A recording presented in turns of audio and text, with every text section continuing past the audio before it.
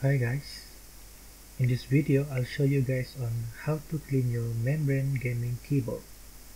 It's fairly easy, so let's get started. So first you need something to pick and pry the keys. I'm using the toolkit and start out with the letter key because it's the easiest one to start with. What you are going to do is you hold down your key and then you insert your prying tools and pry it up. After the initial pull, the rest of the key can be pulled out using your finger just by simply prying it out. I left the longer key to be last to undo such as space, enter, and shift key because it has pin or leg thingy attached to it and you want to go gently on this key so that you don't break anything. After pulling every key on the board I then proceed to clean the keys one by one with alcohol pads. By doing it one at a time I can ensure the cleanliness.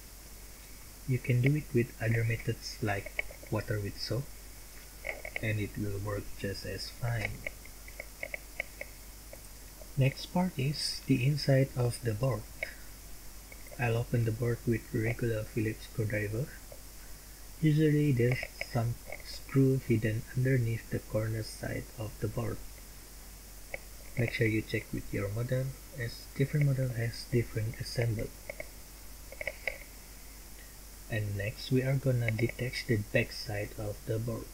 Again, I'm using my phone toolkit here and just sliding between the panel to unclip the board which then will expose the membrane which will not be the concern here.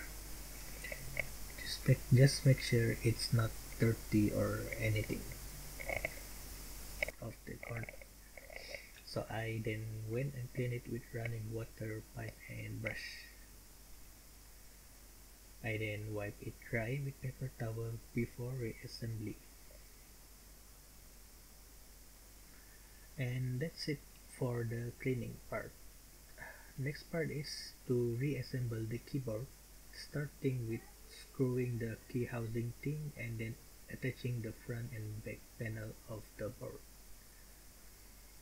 And then we can put back the keys in its place, which is easier than removing it just simply push it down in place except for some of the keys which has the pin or leg thingy where you want to select the leg thing into the slot before pushing the key in.